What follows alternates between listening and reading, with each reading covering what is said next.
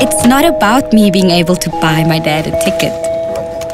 It's not even about him flying for the first time or the priceless look on his face as the plane takes off. It's about him coming to Cape Town to see me graduate. It's never just a loan, is it, Wonga?